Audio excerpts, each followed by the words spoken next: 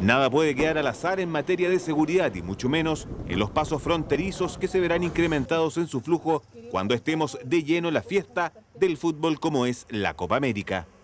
El paso internacional Mamuil Malal es nuestra entrada a la zona lacustre y la más próxima a ciudades de renombre tanto en Argentina como en Chile y que merece especial atención. Es por ello que se afinan detalles, se coordinan las medidas de seguridad vial y personal para tener todo en óptimas condiciones. Excelente, muy bien, muy bien con muy buena señalética. Eh, no te perdés, si te querés perder es porque no te das cuenta o no sabes leer. Y bueno, realmente mucho asfalto, que eso nos llama mucho la atención. Eh, una ruta maravillosa, clara, ligera para nosotros.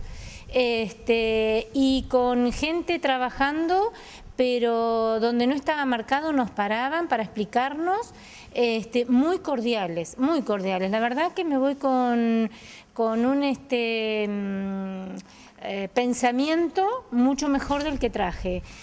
En este caso vinimos a una reunión de coordinación con todos los servicios que trabajan eh, ligados al paso fronterizo para que tengan eh, un plan de contingencia que nos permita enfrentar de buena forma la aglomeración de gente si es que es necesario y para que tenga una dotación de personal adicional con el objeto de que puedan atender a lo que sabemos que va a haber, que es mayor tránsito de personas por este paso fronterizo.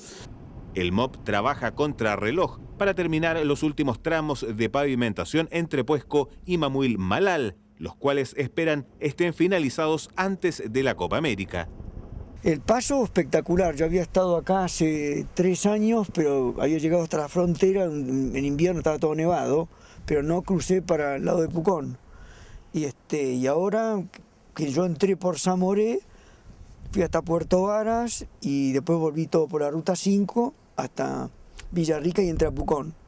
Y al estar abierto el paso, que estaba cerrado, este, bueno, está espectacular, lindísimo.